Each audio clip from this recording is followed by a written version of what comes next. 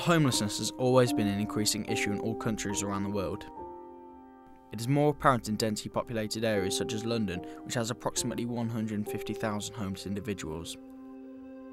Over the past few decades, the economy has thrust homelessness upon many people who have unwillingly experienced new hardships at the hand of the economic climate. This has created an epidemic around the globe which has formed many repercussions and afflictions on the public surrounding the situation. In this documentary, we will be investigating homelessness in the United Kingdom.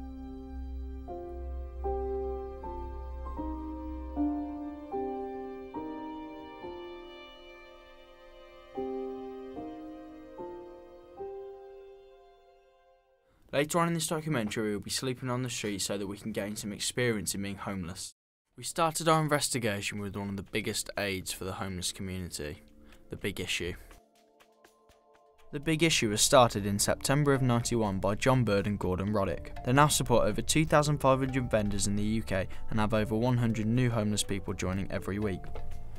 It was set up as a response to the increasing numbers of homeless people in London, the big issue offers the opportunity for people who are homeless to take some control of their lives and rejoin mainstream society. In preparation for our trip to London, we went out and interviewed the public so that we could fully grasp their views on the homeless society. At what point did you first perceive that homelessness is a problem? When I went to Worcester and saw several homeless guys asking me for change on the floor. Um, I guess probably around the same age as yourself. Um, yeah, once you get to the point where you want to leave home yourself and you realise there's people out there that haven't got anywhere to go, mm. it really hits home that, you know, it's really bad out there, isn't it? Yeah, yeah. When I was about 15 and I lived in Birmingham, I used to see people. On the streets. Um, approximately about 50 years ago, because homelessness has been a problem for decades. It isn't something that's just materialised, it's gone on over a long time. From today, I've established that although the public sympathises with homeless, they don't fully understand the difficulties and afflictions that they have to withstand. After many weeks of emails, we arranged to have an interview with CEO of Big Issue, Stephen Robertson, so that we could fully understand what the Big Issue do for homeless people our vendors all sign a code of conduct about how they're going to behave with the public and how they're going to represent themselves, and we'll do all we can to support them in that process, but it's kind of down to them. I asked what the most common reason for people to be homeless is. There's normally um, a sequence of things that can happen in people's lives. Um, sometimes there's a very significant event that, um, that you could say was a trigger point, but um, you know, it could be the death of a loved one, it could be redundancy, it could be all sorts of things. But um, it's it's not uncommon for it's normally more than one thing that's led to somebody becoming homeless, and it can be experiences of things. So experiences of um, institutional care, uh, instances when people have been in the services where you're kind of looked after. You know, there will be a number of factors in someone's history that will impact and implode around perhaps a significant life event, or just a sort of slow downward spiral of things. After obtaining this insight on the homeless, we decided to experience firsthand what it would be like to sleep on the streets of Worcester.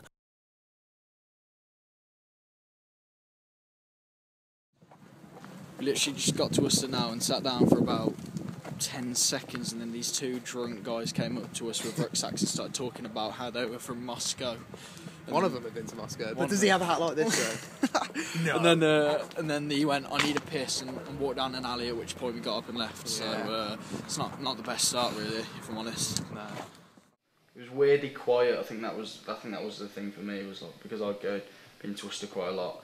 It was weird to see it all like shut off and everything and shut down and no one was there apart from a few drunk people. And then the light was on in Poundland all night, which is quite frustrating and that's about it really.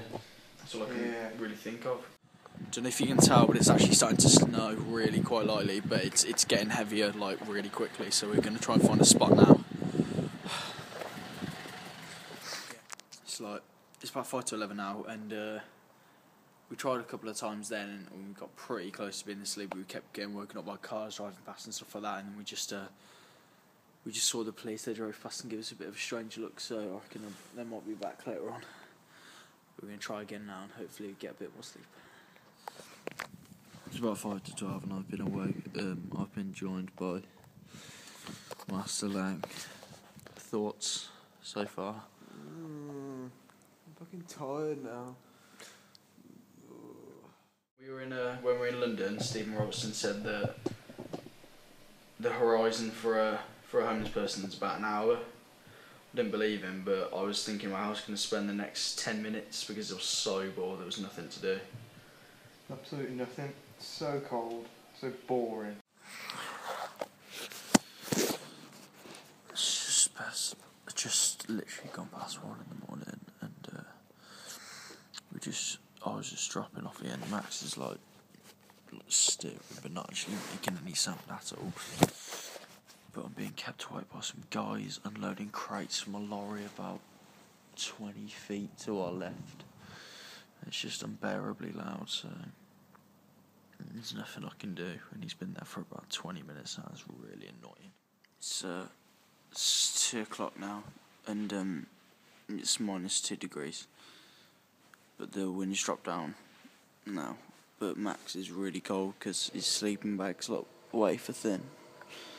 So uh, he's trying to get some sleep, but I don't think he's having much success. It's uh, it's pretty unbearable now, and I'm I'm really tired, but I can't really get to sleep at all. I'm gonna try again. Changed your view of the homeless Yeah, definitely. Now that you've been in there. That's a sarcastic smile. No, no, no, it's uh, completely 100% genuine. Seriously, it was just, No, you do underestimate how hard it is, and then you just, you're out there and you're you think you'll go out, wrap up, I wasn't talking. drift off. I'm just like coming to terms with how early this actually is. The guy over there is opening Caffè Nero already, and it's just like, and we're still thinking about going to sleep. It's it's horrible. So we were out for like eight hours last night, and uh, I'm not gonna lie, it was the most awful Horrendous. time of my entire life. It was just that cold. My feet really hurt. Uh, a few guys came up to start talking to us. Then uh, when we got told to move on, that's kind of sucked. My phone ran out of battery. Cars kept driving past. It was just awful. It was so awful. Never again. I'm so tired. Just gonna sleep it off. Sleep it all off when we get back. Would you do it again? No, No. not at all. If you told, if you asked me whether we were to do it again tonight, I'd probably just be sick with the Really? thought of it. It's so awful. Yeah, Honestly. completely. I wouldn't even like, I wouldn't even like joke with the idea of doing it again. Just to do it every night would just be horrendous. It'd be uh, unimaginably be bad. It, unimaginably Yeah. bad. I would just probably kill myself. Yeah. because the big issue has always been a, a means to an end um, that's there as an opportunity for people to help themselves at a time of crisis. I think there will always be a need, if not for the big issue, but for organisations that can provide a self-help hand up, not a handout at a time of sort of utter loss. The big issue is unique in that it is the single biggest entity in the world that operates on that sort of basis. We have only touched on part of the homeless world, and there is so much more that we have not shown during this short documentary. Homelessness is quite evidently an issue that will always plague the country. To find out more about homelessness, visit www.bigissue.org.uk and www.shelter.org.uk.